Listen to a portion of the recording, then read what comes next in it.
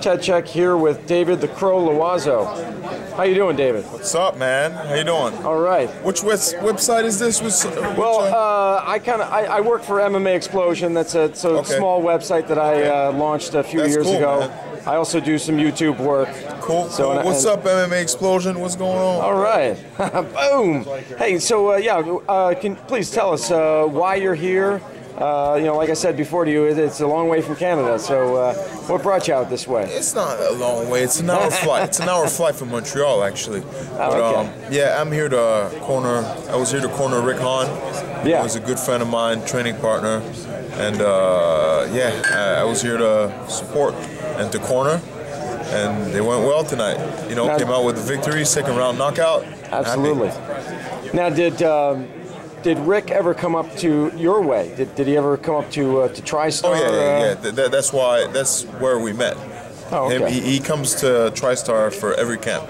You know, every single Oh, one of his camps for the past maybe two or three years. He's been coming to TriStar and uh, staying at TriStar half half the half the year.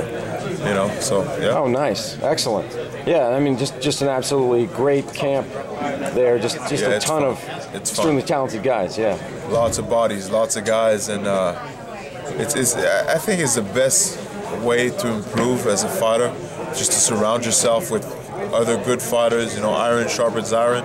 Sure. And uh, yeah, that's I, I think that it's it helped uh, Rick a lot. You know, Now, what what's going on with you? Um, I'm looking for fights. That's what's going on with me. I'm looking for fights. still in the game. Still in the game. That's great. Last time I fought was October 2012 um, in uh, Rhode Island, Providence for CES MMA. Right? Yeah, yeah, and uh, Nice. I'm looking forward to fight again soon. I mean, uh, you know, uh, I'm talking to different organizations, and hopefully, I'm back in there soon. I want to fight often now. You know. Oh, excellent. Great. Glad to hear it. so Yeah, yeah, yeah, we, we look forward to that uh, to, to your next fight. I appreciate it. All right.